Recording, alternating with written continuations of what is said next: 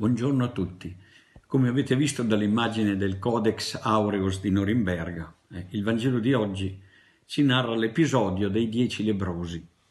Così come la prima lettura ci parla di un altro lebroso, quello di Naaman il Siro, eh, che viene dall'Oriente, da, Elise, da Eliseo, per farsi guarire.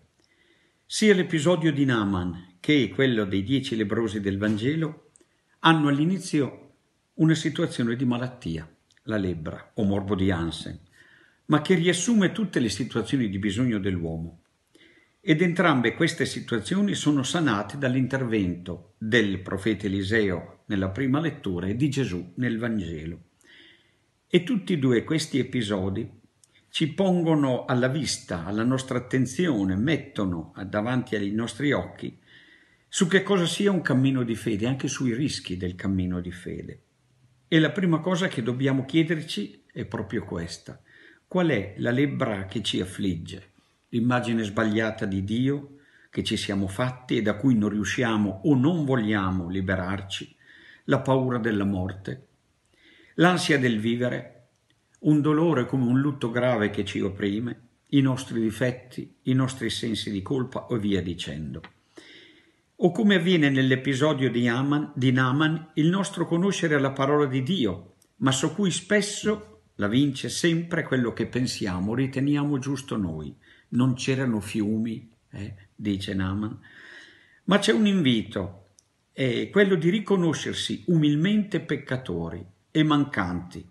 Questa è la via, è la porta che apre all'accoglienza della parola sanante di Dio. Però vi dicevo, c'è un altro rischio e questo è più evidenziato eh, nella parabola dei dieci lebrosi, quello della non gratitudine. Uno su dieci è la percentuale che ci fa vedere di questo gruppo di lebrosi. Gli altri nove hanno ottenuto quelli che volevano e, come si dice, passata la festa, gabbato lo santo. La fede che ha fiducia e chiede è quella che ottiene la guarigione esterna ma è la fede che sa dire grazie che ottiene la salvezza. Va, la tua fede eh, ti ha salvato. E il modo migliore di ringraziare il Signore è dirgli grazie, celebrandolo con la vita.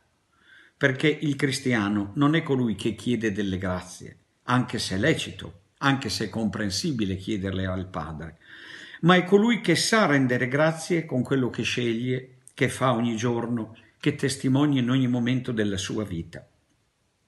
Il tornare indietro del Samaritano poi dimostra che lui ha capito e sa risalire dal dono che ha ricevuto al donatore che gliel'ha fatto e conserva, credo, nel cuore soprattutto l'incontro che è avvenuto con il donatore e che diventerà la sua ragione di vita.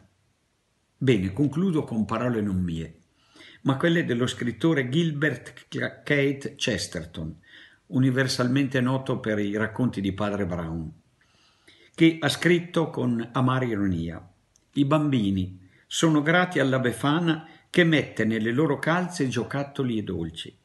Ma noi ringraziamo Dio ogni giorno per il dono meraviglioso di due gambe da mettere nelle calze? Purtroppo io mi dimentico spesso di farlo. E voi? Buona domenica.